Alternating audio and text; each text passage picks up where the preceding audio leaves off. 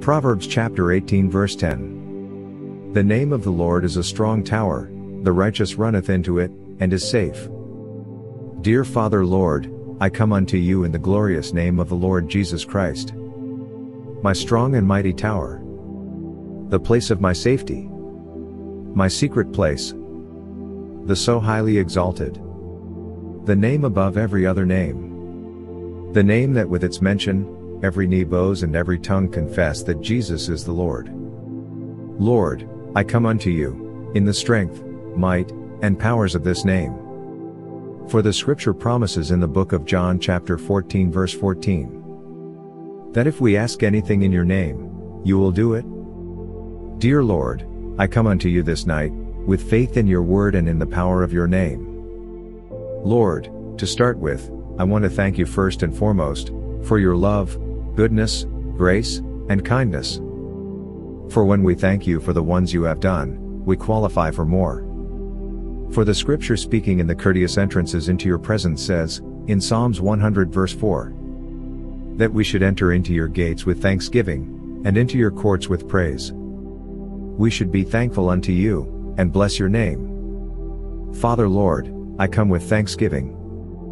For you are deserving of my thanks and praises. In fact, I cannot even thank you enough or praise you enough. What and which one do I start with? Is it the salvation of my soul, your deliverances, or your divine guidance? Where can I even start? But in all, Lord, I say, thank you. Thank you for the gift of life. Thank you for your deliverances and the diverse battles that you have been fighting for me all the time. Those that I know and those that I didn't know about. Thank you, Lord, for your deliverance from both the known and unknown dangers. You carried me past through the valleys of the shadows of death, without even allowing me to know it. Thank you dear Lord for your sweet deliverances, from accidents and other mishaps. Like your word says in Lamentations 3 verse 22. It is of the Lord's mercies that we are not consumed, because his compassions fail not. Lord indeed, it is of your grace and in keeping to your faithful promises, that we are not consumed. For if not for your grace, mercies, and loving kindness, the enemies would have eaten us raw. Just as the psalmist says, in the book of Psalms 124 verses 2 to 8. If it had not been the Lord who was on our side, when men rose up against us, then they had swallowed us up quick, when their wrath was kindled against us. Then the waters had overwhelmed us, the stream had gone over our soul. Then the proud waters had gone over our soul. Blessed be the Lord, who hath not given us as a prey to their teeth. Our soul is escaped as a bird out of the snare of the fowlers, the snare is broken, and we are escaped. Our help is in the name of the Lord, who made heaven and earth. In you O Lord I will keep trusting, my confidence in you shall have no bounds. With you Lord on my side I fear no man. Like David, I can now say, In God have I put my trust, I will not be afraid what man can do unto me. For Lord, you are able, abundantly able to deliver and to save those whose trust is in you. For Lord, you are ever faithful in your promises and your promises are trustworthy. Like the psalmist says, because of your unfailing are ever faithful promises. In Psalms 23 verse 4. Yea, though I walk through the valley of the shadow of death, I will fear no evil. For thou art with me, thy rod and thy staff they comfort me. The same I say, dear Lord. Because I have no way of knowing all the traps, that the enemies might have set for me, but in your promises are my trust. Both for protection and deliverances. Psalm 61 verse 3 says, For thou hast been a shelter for me, and a strong tower from the enemy. Dear Holy Lord, the hour has now come for me to retire to my bed where I will lay and not be conscious of the happenings around me. My only hope and faith in waking up is you and you alone. Though Lord I know, that sleep and true night rest only come from you. As the Bible says in Psalms 127 verse 2. It is vain for you to rise up early, to sit up late, to eat the bread of sorrows. For so he giveth his beloved sleep. Lord, surely it is you that give sleep to your beloved. Therefore, dear Lord, I ask for a truly restful night's rest and sound sleep. Watch over my soul, dear Lord, according to your faithful promises.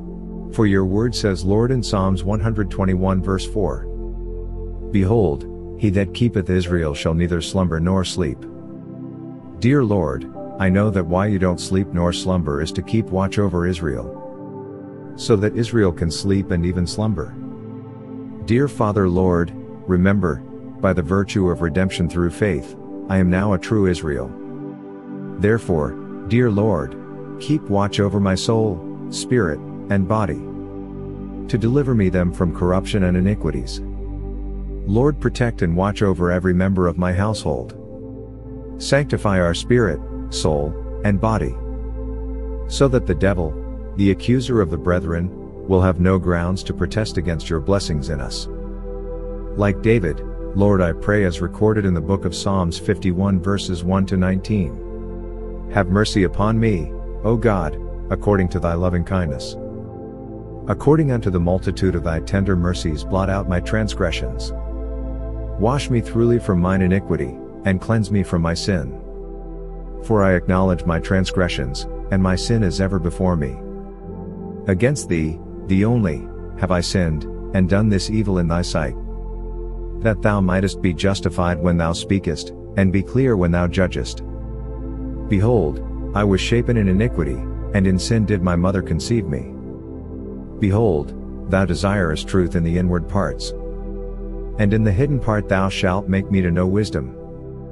Purge me with hyssop, and I shall be clean, wash me, and I shall be whiter than snow.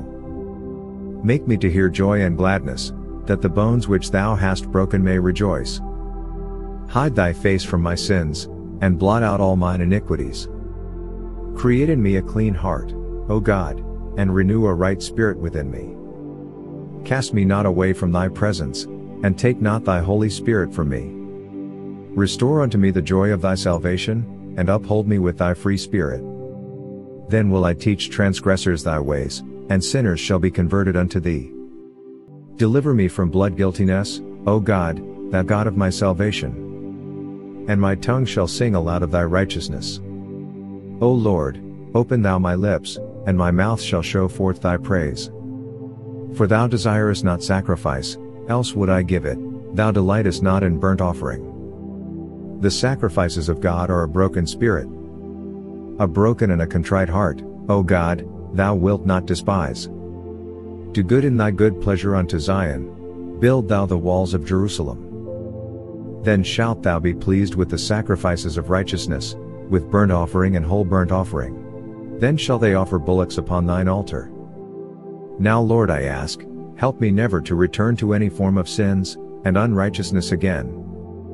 Create in me a new heart, that will be panting after your word day and night, like David in Psalms 42 verse 1. As the hart panteth after the water brooks, so panteth my soul after thee, O God. As I study your word, Lord, let it not be just the study of the letters but Father, let your words always enter me. For your word says, that is the entrance of the word that gives light. Cause your word to always enter me when I study it. Let it always speak to me plainly. Let it no longer be a coded book to me. Let the Holy Spirit always be by me as I study, to give me the right interpretation of your every word in it. To lighten up my soul and spirit, thereby purging me of every unchastity, impurities, and tendency to sin. Baptize me afresh, Father, with passion and zeal for kingdom work. Ignite in me fresh fire for prayers, intercession, and supplication. Lord, I need a fresh encounter that will transform my love, zeal, and knowledge of you. Help me to always commune with you even in my sleep. These I pray and ask for, dear Lord. In the name of Jesus Christ. Amen. Thank you so much for joining us in our prayer. For more prayers, click on the link button you will see below this video to subscribe to our YouTube channel Winning Secret TV. To not miss out on other exciting prayers that we post practically every week. God bless you.